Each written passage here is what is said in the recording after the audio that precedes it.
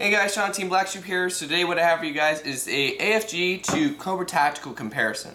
Um, this was a video request a little while back.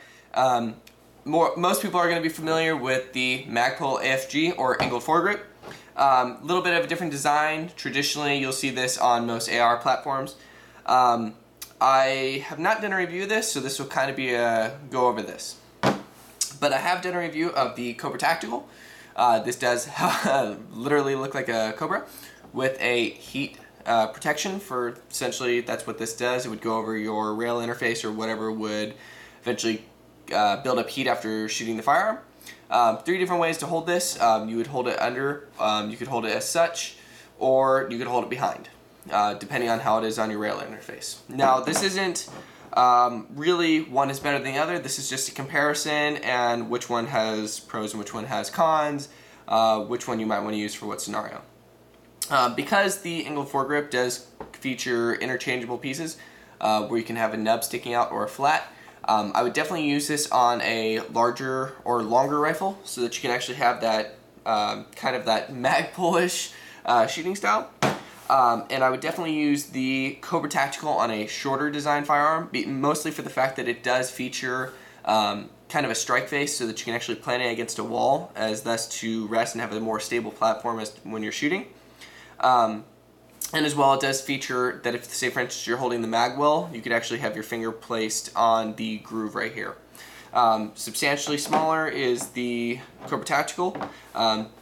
Quite literally it takes up a lot less room. Now for some people that may be actually a better thing. Um, another thing to note that the AFG does use a flat head to adjust it. So say for instance you're in the field, that might be more useful for you because you don't have Allen keys on you, which is what this uh, Cobra Tactical does use.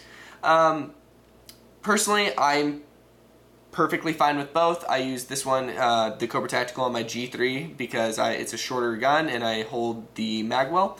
So this actually places perfectly where I need it. Um, the AFG I use on one of my G36s, so there it is. Um, as for pros and cons, they're both made out of a, a nylon fiber material. Um, I mean, there's not really anything bad to say about them. It just one works better for different situations. Um, you can out both these retail about twenty-five to thirty dollars, just so that you guys have that in mind. Um, if you're running and gunning, AFG. If you're say for instance, I mean this is airsoft. Uh, obviously, I can't speak for real steel. I don't shoot well enough or shoot enough.